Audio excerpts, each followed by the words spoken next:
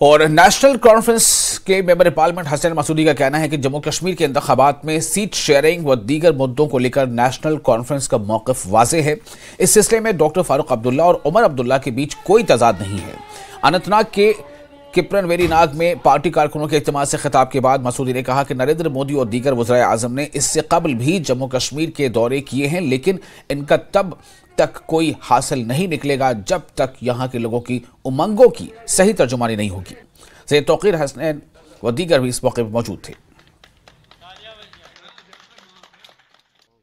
तीन जो सीट तो जो जम्मू कश्मीर नेशनल कांग्रेस के, के पास है वो इंडियन अलायंस के पास है। और बाकी जो उसके अलावा एक मकसद क्या है? अलायंस का मकसद ये था कि हम जो हमारी फंडामेंटल जो हमारे उसूल है प्लुरलिज्म है आइन के साथ आइन की जो सरदारी है तो रूल ऑफ़ लॉ ये जो हमारे फंडामेंटल है और एक प्लुरलिस्टिक समाज जो सोसाइटी तो उसके तहफ़ के लिए आइन के तहफ़ के लिए हम इकट्ठे आए।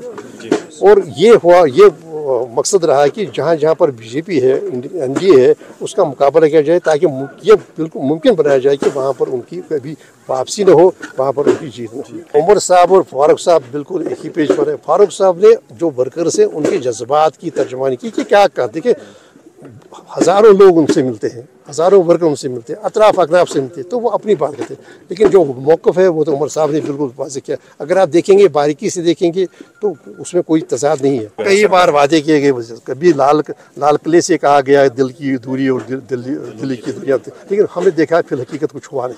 हर एक चीज़ शराब साबित हुई। देखिए, जब हम हम तब माने जब वो कहेंगे कि हम, वो जो एहसास होना चाहिए। मैं बार बार बार बार पार्लियामेंट में भी कहता हूँ कि आप खुद एहतसाबी कीजिए, आपने हासिल क्या किया? क्या हौसलियाबी हुई पाँच अगस्त दो हज़ार उन्नीस के बाद?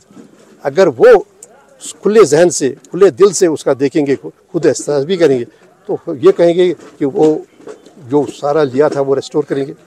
अगर ऐसी कोई बात होगी, जो जैसे इलेक्शन की बात होगी, अब ये भी देखिए कितनी जगह की तकलीफ़ की बात है कि सुप्रीम कोर्ट को कहना पड़ा कि यहाँ इलेक्शन कीजिए।